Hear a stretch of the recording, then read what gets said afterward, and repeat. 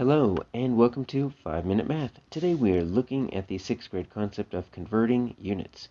This is standard 6.4H in the great state of Texas and we are using item number 27 off the 2021 released STAAR test. If you have not done so already, please go ahead and take a moment to pause the video, work this problem out on your own, unpause it, and then we will look at our answers together.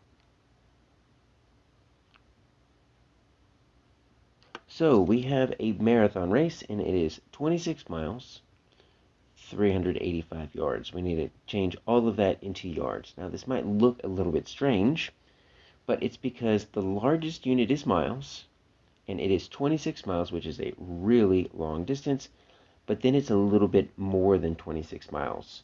And it's not enough more to where it's an extra mile to make it 27 so the next largest unit is going to be yards. So that's why you have that mixed measurement there, because it's 26 miles plus a little bit more.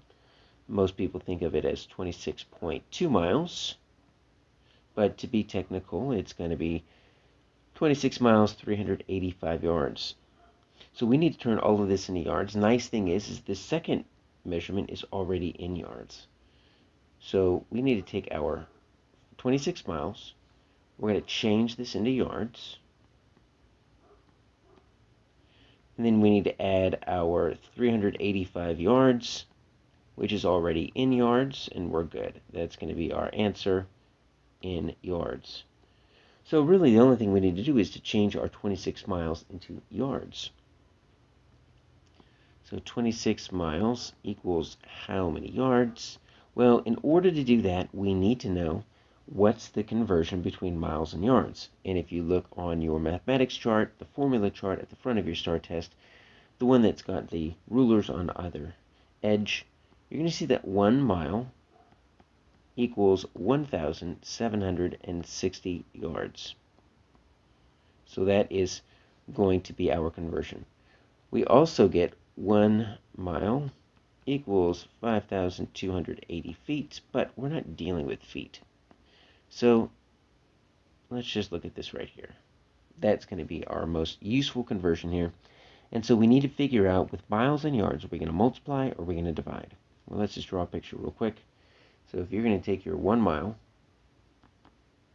say our one mile is right here, and you're going to split it up into yards. So I'm going to draw little yards right there. That's one yard, that's two yards, that's three yards, all the way over here to have a total of 1,760 yards. That's a lot of yards in one mile.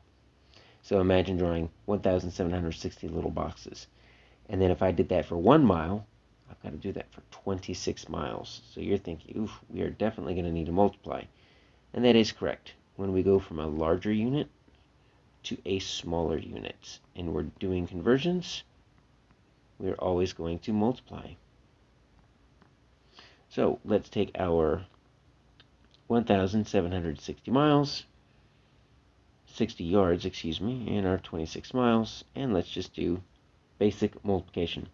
So 6 times 0 is 0. 6 times 6 is 36. 6 times 7 is 42. Add that 3 back in is 45. 6 times 1 is 6. Add the 4 back in is 10. So I've got 10, 5, 60. Get rid of those two. I'm going to put a 0 right there, and we're going to start in the tens place because we're starting with a 2, which is really a 20. 2 times 0 is 0. 2 times 6 is 12. 2 times 7 is 14. Add that 1 back in is 15. 2 times 1 is 2. Add that 1 back in is 3. Now we simply need to add 0, 6, 7, 5, 4. So it looks like I've got 45,760, and you're thinking, oh, I'm close. This kind of works here. Maybe I just messed it up. But remember our original. We had to do our 26 miles into yards. Remember we had that 385 yards left over? So now we need to add those two back up. 45,760, 385. That's going to get you 5, 14. 10, that's 11. 5 and 1 is 6. 46,145. And our answer is B.